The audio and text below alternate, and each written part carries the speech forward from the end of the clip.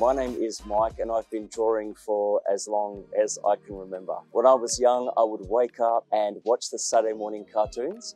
And now, 40 something years later, I am teaching kids how to draw in workshops called Saturday Morning Cartoons.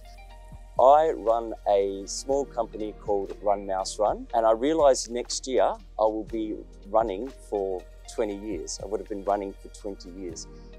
So I run workshops for small children, probably late primary school, sometimes early primary school. I really wanted to do it my own way and get that Saturday morning cartoon fun family vibe going in a set of workshops which I teach uh, in various locations around Perth. Parent wants to enrol their child into a Saturday morning cartoon.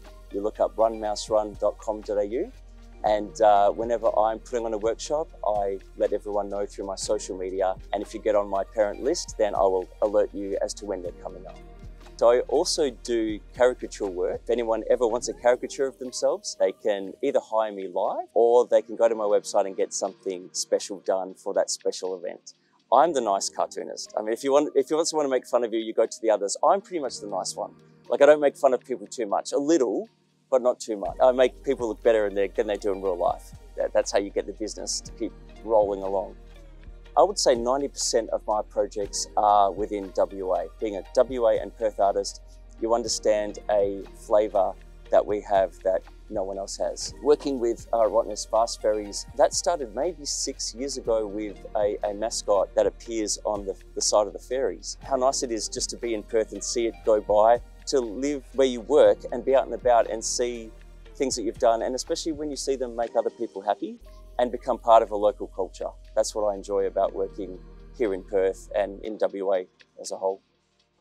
I think that everyone who's lived in Perth all their lives have some connection to Rottnest. I've been there for so many different reasons that every time I step off the ferry, I feel like I'm stepping off like a hundred times. Like my past selves are stepping off the ferry, going to school camp, being a young child, being with my parents, going to comedy festivals, staying in the more ritzy hotels, just different stages of Rottnest. So every time I step off, a million memories fly back at me. It's almost like I'm there all at once in my life.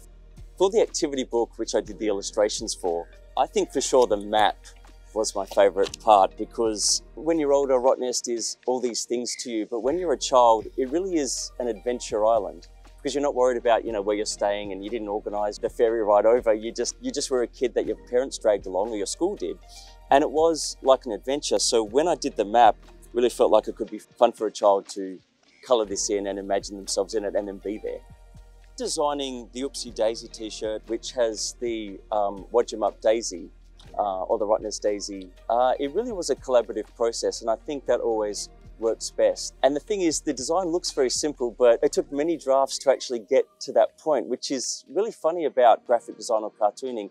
It might end up really simple in the end, but there were so many drafts going back and forward and emails, and all of it was enjoyable to me because the collaboration was there.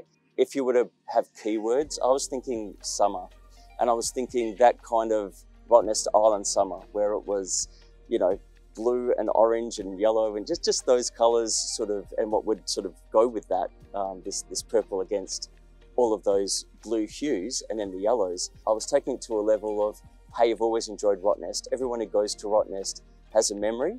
And I find um, this design very whimsical and, and bringing out an inner child.